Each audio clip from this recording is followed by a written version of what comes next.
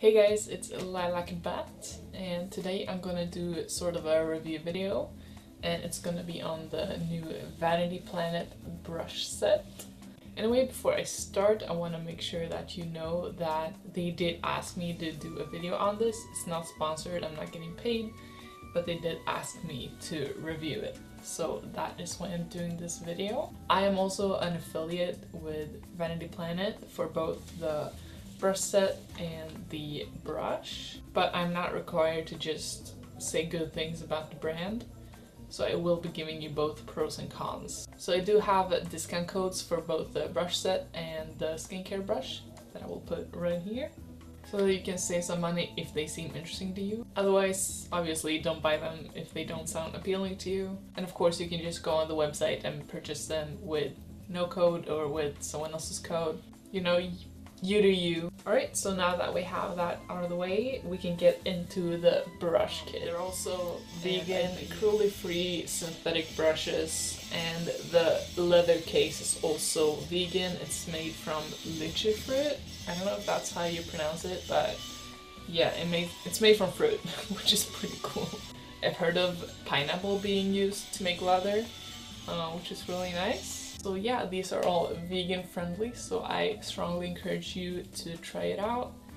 Um, the original price is a hundred bucks, which is like, holy shit. But I do have a discount code for 70% off, which makes it 30 bucks, which means that each brush will be $2 because there's 15 brushes in here. And I used only brushes from this set to do my makeup today, and I will show you kind of a demo of everything I did. So the first thing I did after I primed my face was going with some concealer with this concealer brush right here. And I usually never use a brush to blend out my concealer, so I was very surprised that this actually worked. For my foundation today, I used my Bare Minerals powder, and with a little like card that comes with the brush kit, it kind of explains what all the brushes are meant for. And it says that this one is meant for mineral powders, but I feel like this will be great if you want very, very natural light coverage. But my favorite brush to use with my Bare Minerals powder is this one right here. And you can see I have some pretty good coverage going on because this brush is more dense, so that's why I like it more.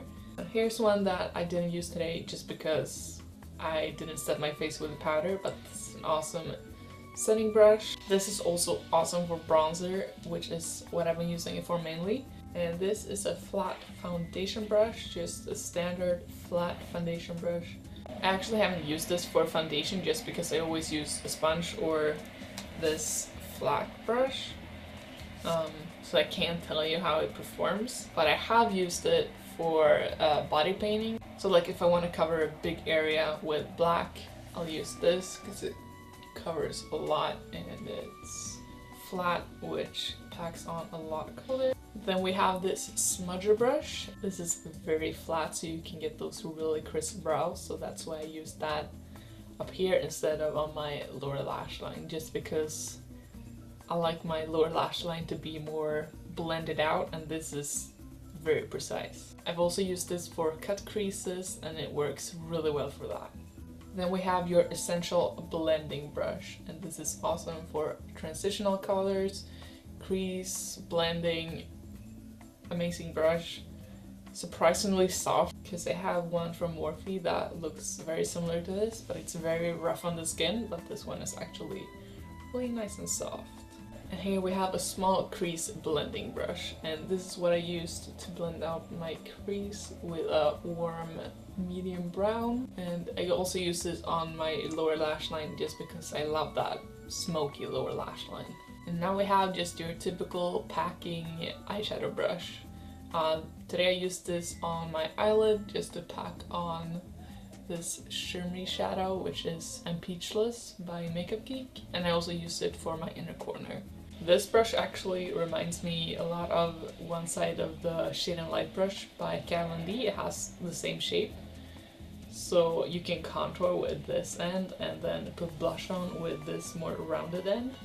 But of course, um, if you have some leftover like contour powder on this end and then going with your blush and you end up getting a contour color where you don't want it, that can be an issue, you know? So maybe like a separate contour brush and then this could be a great blush brush. Then we have this very nice and soft fan brush which I use to highlight. Because it's not super thick and dense you can do a very natural and light coat or you can just go for it which I mean I like to do some heavy duty highlighting and you can definitely do that with this one. There's actually one brush missing from my set because I lost it, I don't know where it went, but it is a lip brush. I used it on my model a few days ago and I used it yesterday to do my ombre lip. I'll put a picture right here. Uh, yeah, I love that brush, but luckily there's another lip brush in this kit, which looks like this. And no, I'm not crazy, it's a lip brush just pull it out like that. And this is what I used to apply my lipstick today.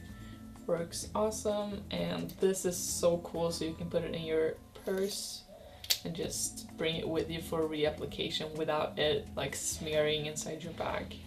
Then we have this brush which I'm guessing is another concealer brush. I'm not sure. I don't have the little slip it comes with because um, this is the one I used for my concealer today and this is that other brush. I'm not really sure um, if they have different purposes. I feel like it wasn't really necessary to have both of these because they're so similar. They just have kind of a different feel to them. This one is a bit thicker and tapered.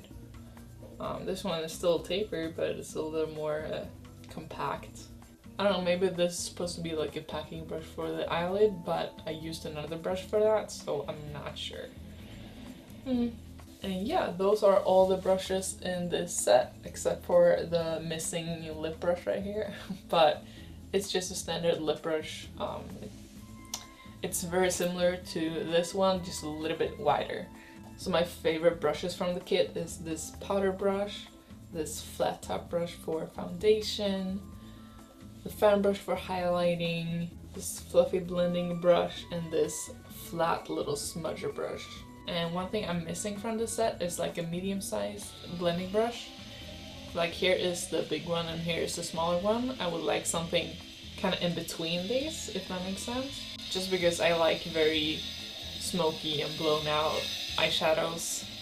I feel like for some things that I want to do, this is too big and this is too small. I love these as they are, but I would like something more. Like for example, instead of this brush, which I feel like, I don't know if this one or the other concealer brush is better, but like instead of having both of those, I would like another eyeshadow blending brush. Another thing I'm missing is like a spoolie for your brows just to brush them through. Um, luckily a lot of brow pencils come with those, so I used one of those today just to lay my hairs in place. Anyway, that is it for my review. I hope you found it helpful. And if you end up buying it, please let me know how you liked it. I think this would be a great set for a beginner just to have like all the brushes you need and like I said I feel like I'm missing a few brushes so then you can just go out and buy individuals of what you need and you're set. Alright, thanks for watching guys and I'll see you in the next one. Bye.